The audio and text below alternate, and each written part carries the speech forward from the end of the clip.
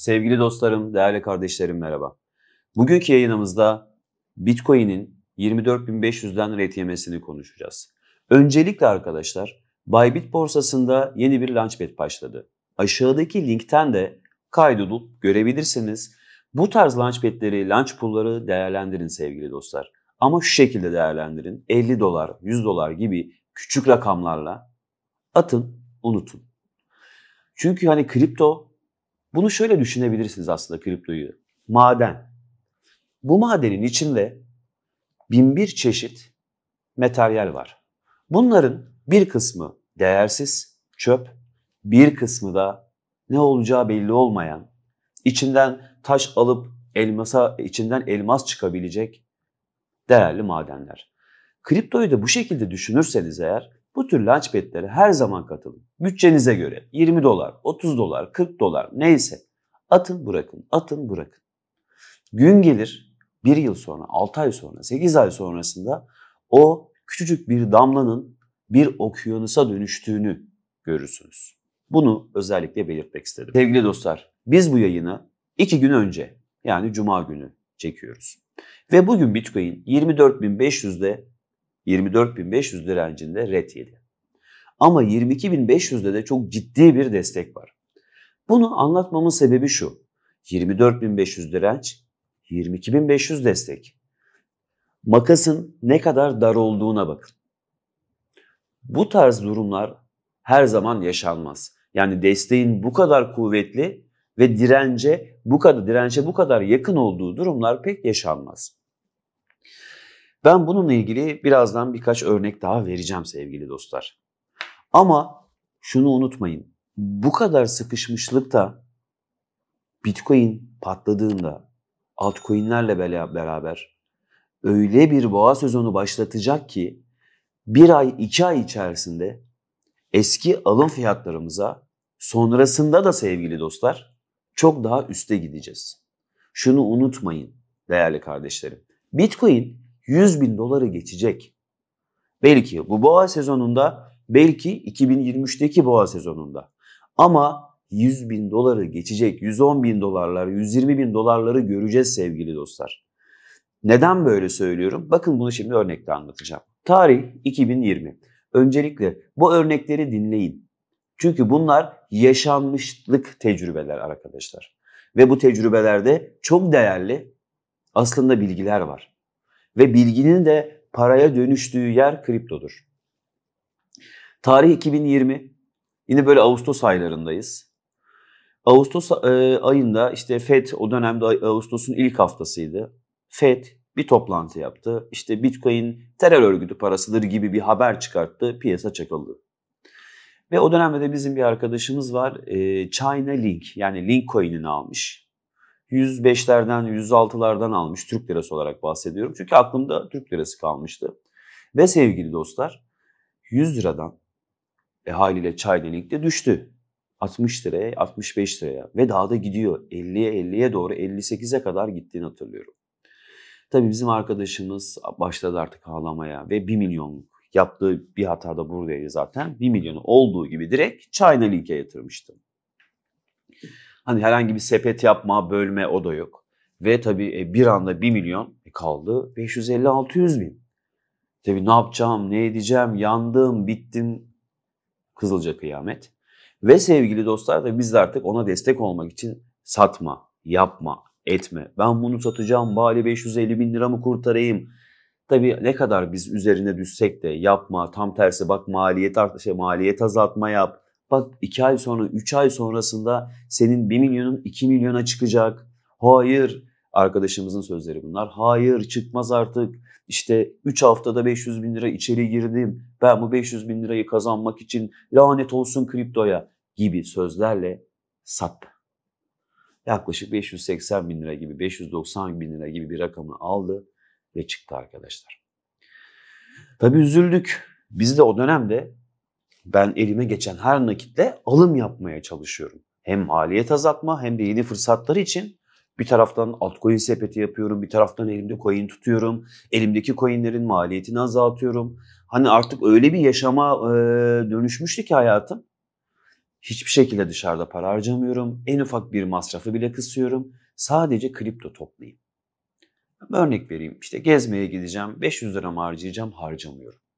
Bir kıyafet mi alacağım? Almıyorum. Hani normalde baktığınızda bir kıyafet atıyorum 1000 lira diyelim ki. Hani alsanız ne olur, almasanız o 1000 lira ne olur? Hayır, öyle değildim arkadaşlar.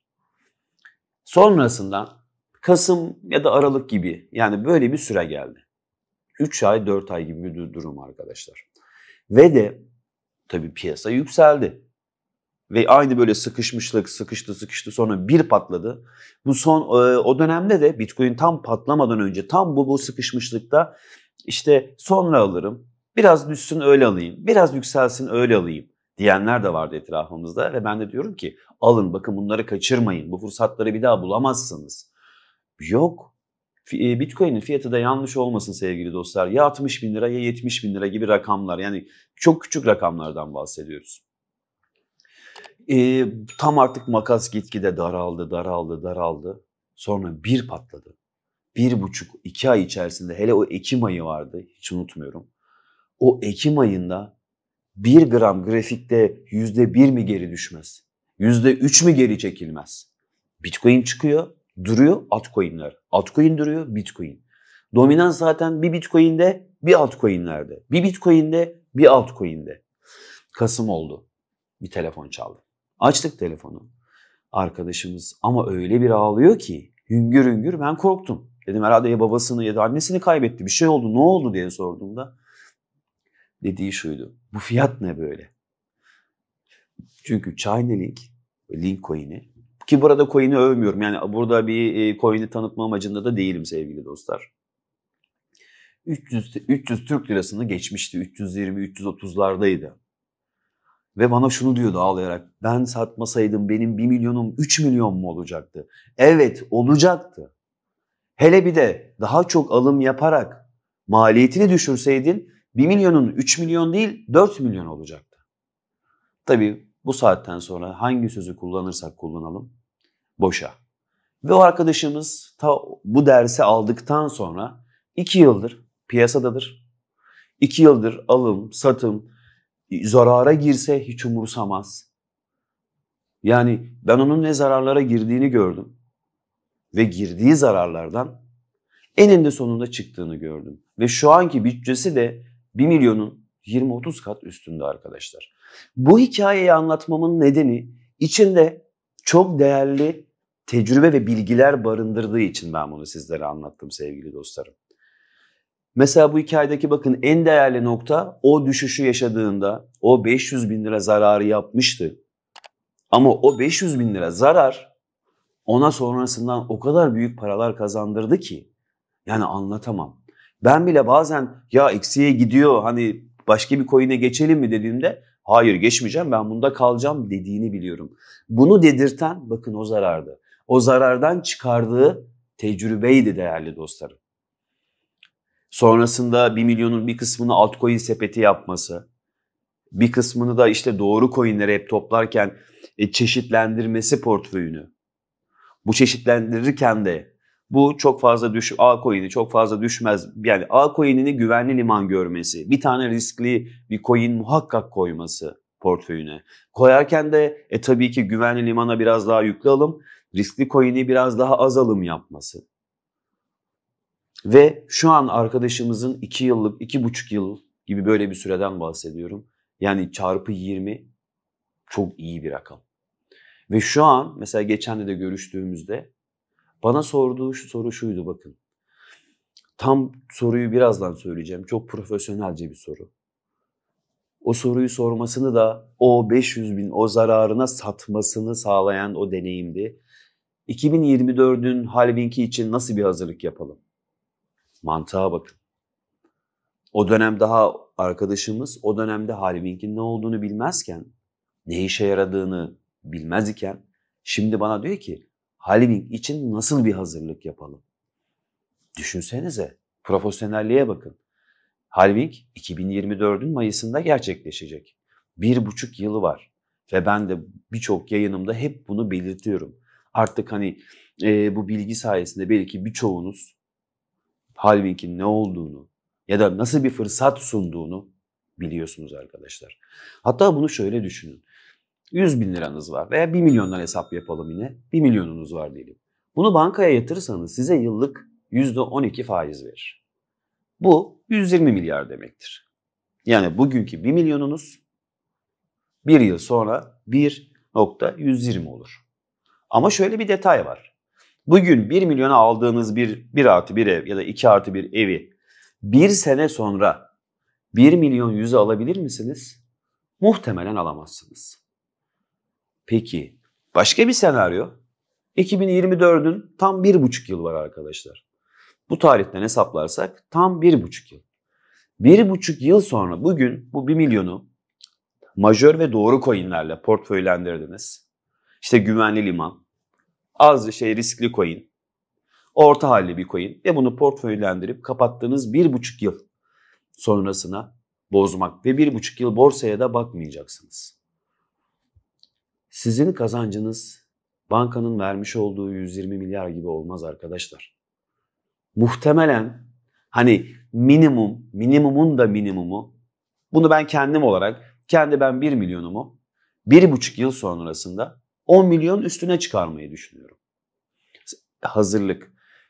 Halving'e yapacağım hazırlık bu şekilde benim arkadaşlar. Halving için ayırdığım bir bütçe var. Rakamlara örnek veriyorum tabii ki. Ve bu tamamen benim kendi düşüncem, kendi hareketlerim. Ben o 1 milyonumu 2024'ün halvingi geldiğinde hani 10 milyon, 12 milyon olarak çıkarmak istiyorum. Ve bunu yine bize değerli bir bilgi daha sevgili dostlar. Yatırımcı bir bilgisi olsun bu. Bakın önümüzdeki yıl ya da bu yılın sonunda ya da önümüzdeki yıl vergi çıkacak. Kriptoya Türkiye'de vergi gelecek. Bu yani diğer ülkelerde şöyle. Vergi diyelim ki 1 Ocak'ta geldi. 1 Ocak'tan önce yapılan yatırımlardan vergi kesilmez. 1 Ocak'tan sonraki yatırımlarda vergi kesilir. Tabi bunun birçok daha detayı var ama bizim için ana detay 1 Ocak örnek 1 Ocak'tan önceki yatırımlarda verginin olmaması. Yani bu ne demek biliyor musunuz? Ben bugün 1 milyonluk alım yaptım. Tuttum elimde ki misal düşünseniz arkadaşlar MIT geçen sizlerle paylaştık. Bakın şu an alım fiyatımız da bizim. Bir buçuk yıl sonra benim 1 milyonum 10 milyon olduğunda ben bunu vergisiz bir şekilde çekip e tabii ki devletimiz buna da vergi koyarsa devletimize can feda. O ayrı bir şey. Anlatmak istediğimi umarım anlamışsınızdır sevgili dostlar. Ve bu anlattığım arkadaşım gibi aslında o kadar çok hikaye var ki sizlere anlatabileceğim. Mesela benim şu an danışmanlık hizmeti verdiğim bir müşterim var. Yani birçok müşterim var. Bir tanesini kısaca isim vermeden bahsedeyim.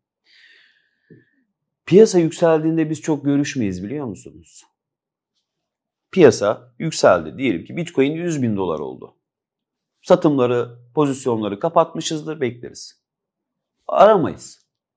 Ama piyasa düştüğü vakit ki bakın 6 aydır inanın coin toplamaktan artık yani spotumuz, spot cüzdanımız hesabı tutamaz hale geldik belki de. Tabi toplam rakamı tutuyoruz ayrı ne kadar yatırmışız ne kadar e, elimizde var gibi.